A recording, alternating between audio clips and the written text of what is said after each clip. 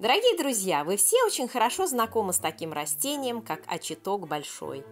Очиток большой является украшением не только городских и дачных клумб, но также он растет рассеянно в лесах, среди кустарников, на солнечных склонах холмов.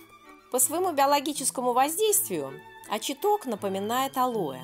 Оба растения являются биологическими стимуляторами. Они усиливают регенерацию наших тканей – Ачиток содержит алкалоиды, полисахариды, органические кислоты, дубильные вещества, флавоноиды, аскорбиновую кислоту и минеральные соли.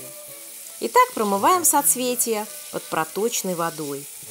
Теперь траву нужно положить на полотенце, чтобы испарилась лишняя влага. Теперь мы помещаем наше сырье в миксер, и наша задача – измельчить его как можно больше, чтобы не было веточек. Насыпаем измельченное сырье в тару. Ну а теперь доверху заливаем наше сырье оливковым маслом. Можно использовать и другое масло, которое вам больше нравится. Все растительные масла являются питательными для кожи. Ну а теперь возьмем тарелку или какой-либо другой гнет для того, чтобы вся трава находилась в масле. Масло в данном случае будет служить консервантом.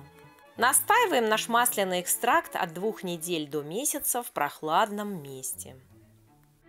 Итак, дорогие друзья, у нас получилось великолепное масло для питания нашей кожи, лица и тела.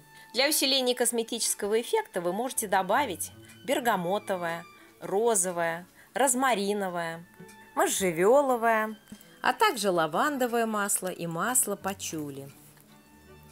Такое масло я использую после ванны для того, чтобы регенерировать клетки кожи.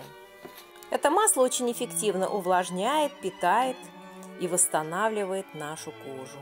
Дорогие друзья, сегодня мы поговорили с вами об очитке большом и о том, как сделать из него масляный экстракт для тела.